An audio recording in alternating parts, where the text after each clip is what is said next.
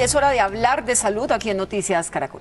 Hoy la doctora Fernanda nos habla sobre un problema frecuente y que se presta para confusiones, las úlceras del aparato digestivo. Buenos días, doctora, bienvenida. Gracias Juan, muy buenos días para todos. Lo que pasa es que los síntomas de una úlcera que pueden ser dolor, llenura o distensión abdominal suelen confundirse con los que producen otras molestias digestivas. Entonces las personas creen, por ejemplo, que tienen una gastritis, se confían, no consultan o lo manejan con remedios caseros y medicamentos de venta libre.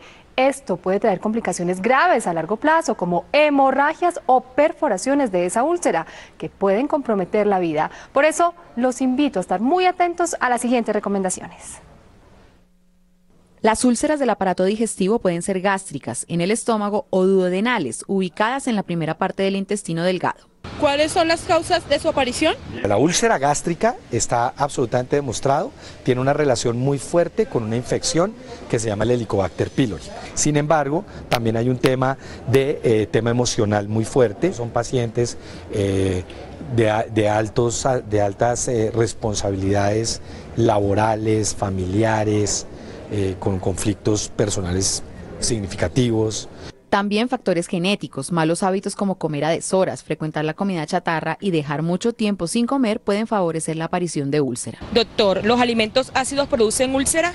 No, eso en la evidencia eh, médica no hay ningún sustento para, definir que haya alimentos que produzcan o que faciliten la aparición de úlcera.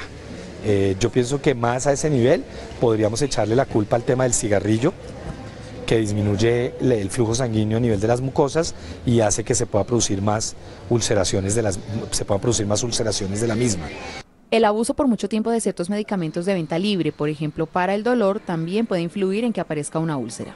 Doctor, ¿cómo puedo prevenir una úlcera? Pues tratar de evitar desayunar mientras trabaja, tratar de almorzar, de evitar eh, trabajar mientras almuerza, eh, tratar de apagar el celular si es posible durante esa media hora de desayunar o de almorzar, tratar de, almorzar tranquilo, masticando bien. También es clave evitar la automedicación y consultar ante cualquier molestia digestiva para aclarar su causa de fondo.